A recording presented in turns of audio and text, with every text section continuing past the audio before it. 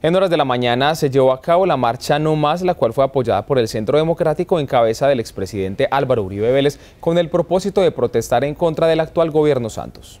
Cerca de las 9 y 50 de la mañana inició la marcha No Más, donde algunos ciudadanos con el apoyo del Centro Democrático rechazan, entre otras medidas, las decisiones del gobierno nacional en cuanto al proceso de paz con los guerrilleros de las FARC y el ELN. Más de 200.000 personas se unieron a la marcha del No Más desde el Teatro Pablo Tobón Uribe y otro grupo menor se reunió en el Centro Comercial Río Sur para una movilización en contra de las políticas del presidente Juan Manuel Santos y las negociaciones de paz con las guerrillas del ELN y las FARC. Hablábamos de unos 50.000, 60.000, máximo 80.000 personas, pero tengo reportes de que fuimos 250.000 paisas. Esta movilización tomó la avenida La Playa, luego la carrera 47 hasta llegar a la avenida San Juan y terminar en el Parque de las Luces, centro de Medellín.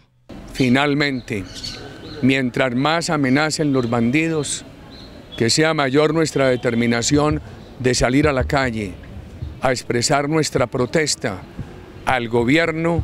que con la impunidad los ha venido alimentando. La ineficiencia en la seguridad, la situación económica y la crisis de la salud son las razones principales que, según sus organizadores, motivaron a la marcha No Más, convocada por diferentes sectores del país esta mañana. Son miles de razones, eh, no queremos más falsos testigos, hoy lo dijimos en Tarima, queremos la libertad del doctor Luis Alfredo Ramos porque es un hombre bueno. Álvaro Uribe Vélez, senador de la República, manifestó que la situación de orden público que se vive en los últimos días en el país se veía venir por las políticas de impunidad que el gobierno nacional le ha ofrecido a las FARC, lo que hace que las bandas delincuenciales cada día crezcan más. Informó para Cosmovisión Noticias Josimar Bustamante.